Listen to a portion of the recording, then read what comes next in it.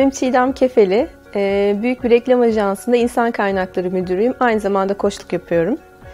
Yani geleneksel HR fonksiyonları seçme, yerleştirme, ücret, ücretlendirme, e, yan haklar ve operasyonel görevler dışında aynı zamanda e, eğitim, etkinlik ve aktivitelerimiz oldukça fazla oluyor ajansımızda.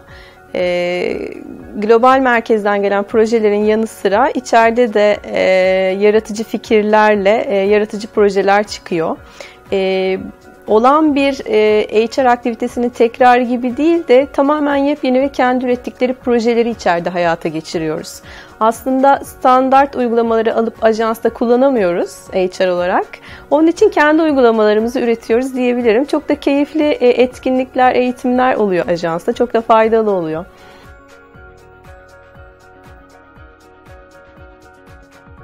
Benim için keyifli tarafı e, durağan olmaması, çok dinamik, e, ajansta HR olmak oldukça dinamik bir konum. E, normal HR'lar hani gelirsiniz evet bir e, takviminiz var o takvime uygun hareket edersiniz. Aslında takvimin bile zaman zaman kaybolup gitmesi e, ve olayların içinde birebir yaşıyor olmanız onlarla birlikte bir destek departmanından daha ziyade sanki ana departmanlarla iç içe geçmişsiniz gibi ajansta.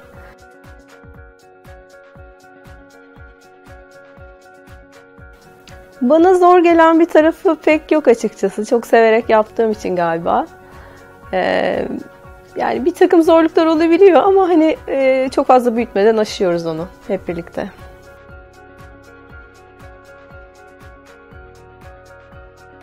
Ben işletme mezunuyum.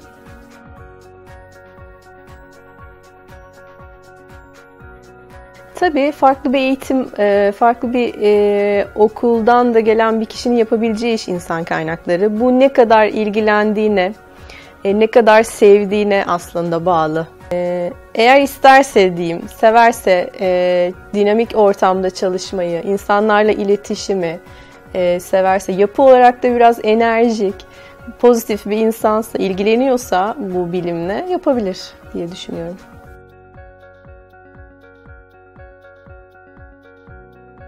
Ee, ilk önce sevdiğin işi bul ve onu yap derdim kendime. Zaten o konuda şanslı bir insanım. Gerçekten sevdiğim bir işle başladım ve 15 senedir o işte devam ediyorum. Severek çalıştım. İkinci tavsiyem mutlaka çok okumaları olurdu.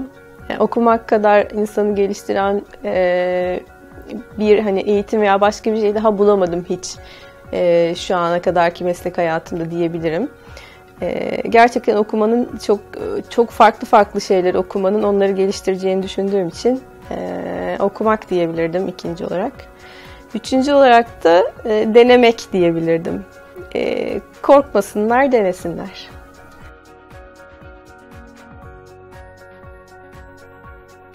Ee, aslında birçok şey var aklımda denemek istediğim. Böyle bir girişimci ruhum var biraz ama e, kültür sanatla ilgili bir şeyler yapıyor olmak isteyebilirdim. E, o alanı oldukça seviyorum ve ilgileniyorum. E, veya e, çocuklarla ilgili bir iş yapıyor olmak isterdim.